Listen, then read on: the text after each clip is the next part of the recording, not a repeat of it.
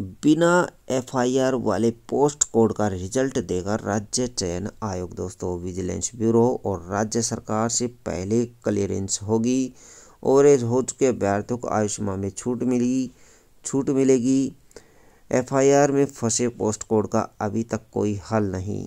हिमाचल में नए सिरे से बनाया गया राज्य चयन आयोग।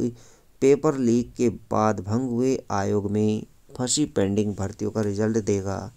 करीब 18 पोस्ट कोड का रिज़ल्ट निकालने के लिए आयोग ने अपने स्तर पर कोशिश शुरू कर दी है। इससे पहले Ayurveda pharmacist, junior auditor, junior officer, assistant account, accounts की भर्ती को राज्य सरकार लोक सेवा आयोग को दे चुकी है, जबकि ऑपरेशन थिएटर असिस्टेंट प्रयोग के आधार पर सीबीडी के लिए राज्य चयन आयोग को दिया गया है। बाकी बचे अठारह पोस्ट कोड। अभी विजिलेंस ब्यूरो की एफआईआर से बाहर हैं।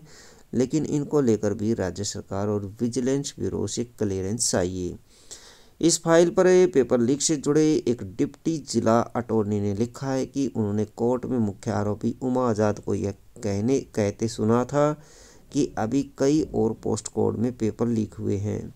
राज्य चयन आयोग के chief administrative officer Ram Krishna Prothi ने एक कमेटी का गठन कर इन पोस्ट कोड को लेकर स्थिति साफ़ करनी चाहिए। इस कमेटी में आयोग के अलावा विधि विभाग और विजिलेंस ब्यूरो के अधिकारी शामिल थे। कमेटी ने बैठक करने के बाद कार्मिक विभाग के सचिव को इनके मिनट्स भेजे हैं।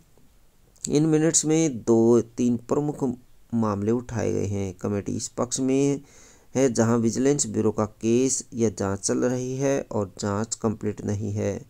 उन्हें फ़िलहाल विद हेल्ड रखा जाए।